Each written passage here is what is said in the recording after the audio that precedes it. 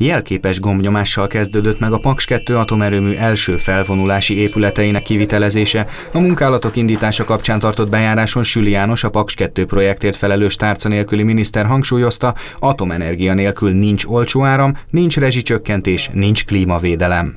Egyértelműen kijelenthetem, hogy tényleg Magyarországon nincs más mód, hogyha akarjuk a klímacélkitűzéseket, az olcsó villamos energiát a családoknak, ezt a két blokkot meg kell építeni, meg is fogjuk.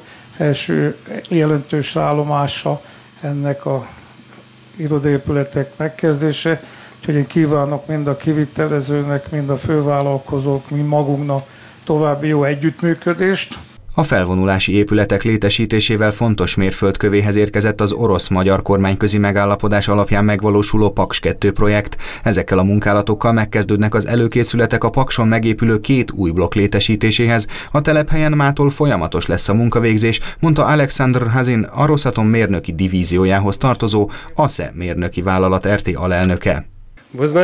Nagyon kellemes számunkra ez a munka, mint egy egységes csapat úgy dolgozik együtt az orosz és a magyar csapat. Az első pályázatot magyar cég nyerte, ami véleményem szerint egy nagyon jó dolog, mondta Alexander Hazin, az ASZEM mérnöki vállalat RT Paks 2 projektigazgatója. Lenkei István a Paks 2 ZRT vezérigazgatója kiemelte, a társaság megrendelőként abban érdekelt, hogy kiváló minőségben valósuljanak meg a Paks 2 projekt kivitelezési munkálatai. Én bízom benne, hogy a folytatás az, az zöggenőmentes lesz, és a kettes 1-1-2, 1-1-3-as épület is rendben meg tud épülni, majd pedig az azt követő összesen 80 darab épület. A kivitelező kész építő és szerelő ZRT számára fontos a mostani megbízás, mondta Sárai Zoltán vezérigazgató. Hozzátette elnyeréséhez, hozzájárult a vállalat eddigi számos nemzetközi referenciája mellett az, hogy saját erőforrásaira tud támaszkodni. Célunk, hogy hosszú távon részt tudjunk venni ebben a meghatározó projektben, és tudásunkat egyéb feladatokban is meg tudjuk mutatni.